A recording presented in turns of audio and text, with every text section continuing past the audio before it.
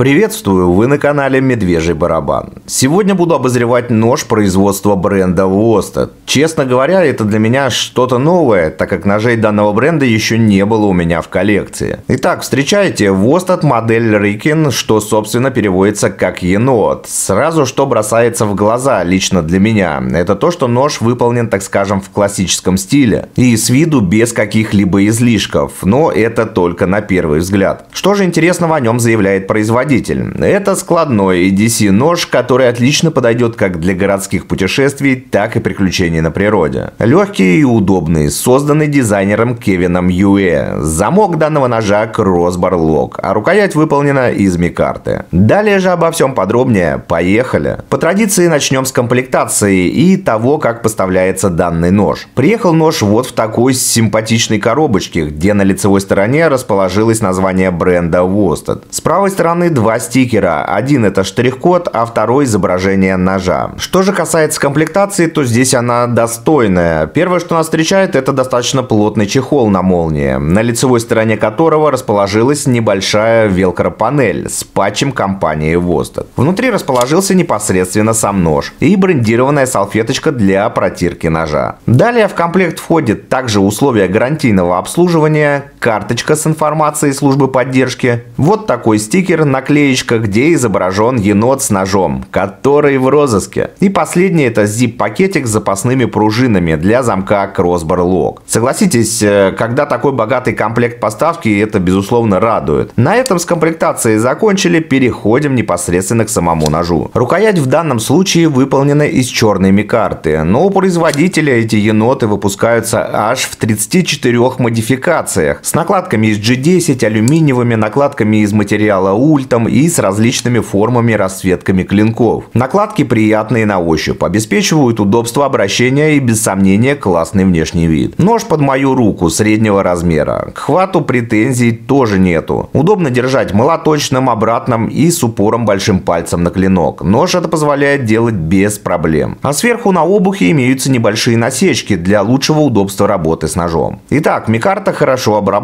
ничто не цепляется, сама по себе ухватистая и цепкая. Пользования у меня было очень много ножей, как с Микартой, так и с G10. По итогу заметил, что Микарта все-таки более цепкая, чем G10. Бэкспейсер аналогично из Микарты. Вся фурнитура выполнена в стальном цвете. На сивом никаких логотипов нету. Давайте покажу поближе. Стальные лайнера у нас облегчены по максимуму. Вот такими небольшими отверстиями. Нож имеет двухпозиционную клипсу неглубокой посадки и средней жесткости, на которой изображен логотип компании. При необходимости клипсу можно переставить на другую сторону. С обратной стороны есть вот такая заглушка в потае, как и само крепление клипсы. Клипса позволяет носить нож только кончиком клинка вверх. Темлячное отверстие в данном ноже сквозное через backspacer. Размеры стандартные, 550 паракорд пройдет с легкостью. На клинке у нас сталь Sandvik 14C28N. Это шведская мелкозернистая коррозийно-стойкая сталь, разработана специально для изготовления клинков. За счет высокого содержания хрома эта сталь имеет достаточно высокие показатели защиты от коррозии. Кроме того, в ней идеально сочетаются жесткость и вязкость. Лезвие из этой стали достаточно хорошо держит режущую кромку и хорошо поддается заточке. Твердость стали от 58 до 62 по роквеллу. Обработка клинка сатин. Геометрия клинка drop point позволяет отлично работать по продуктам, колбасам, овощам, да по сути чему угодно в принципе. Замок, как говорил говорилось ранее, Crossbar Lock. Это одна из модификаций замка Axis Lock. Работает превосходно в обе стороны. Клинок буквально в свободном падении. Нож можно открыть при помощи самого замка Crossbar Lock или же за шпеньки на клинке. Но очень удобно. Осевой узел выполнен на керамических подшипниках. Честно, открытие и закрытие впечатлило. Клинок по центру никаких нареканий не вызывает. Далее пробежимся по характеристикам. Общая длина 193 мм, длина клинка 82 мм, ширина клинка 27 мм, толщина обуха 3,2 мм, вес 90 грамм. По традиции предлагаю порезать бумагу и посмотреть на заточку из коробки. Поехали! по всей длине режущей кромки. Режет, не закусывает, как говорится.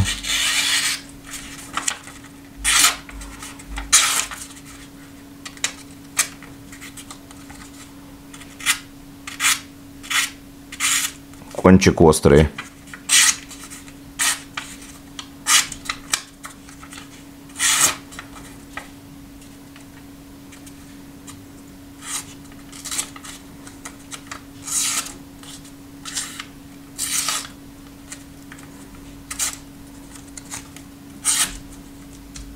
Заточка из коробки идеальная. Претензий не имею. Время подвести итоги. Востед енот – отличный вариант ножа для повседневного ношения на кармане. Дизайн сбалансированный и привлекательный, а материалы прочные и качественные. Мне особо нравится плавность открытия и закрытия клинка. Нож хорошо лежит в руке и удобен в использовании. Геометрия же клинка обеспечивает отличные режущие свойства. Плюс к этому нож имеет относительно небольшой вес в 90 грамм. Что касается его цены, то она в среднем составляет порядка 5 59 долларов, что на наши получается порядка 5200 рублей. Хочу напомнить вам, что я создал новую группу ВКонтакте, поэтому рад буду увидеть вас там. Отмечу один момент, что все мои видео это мое личное мнение и первое впечатление о тех или иных товарах, которыми я пользуюсь. Выражаю свое восхищение или недовольство ими и делюсь этим с вами, чтобы вы могли делать из этого какие-либо выводы. В общем, мои видео несут только ознакомительный и информационный характер, не более того. Чтобы у вас было представление о данных товарах, вы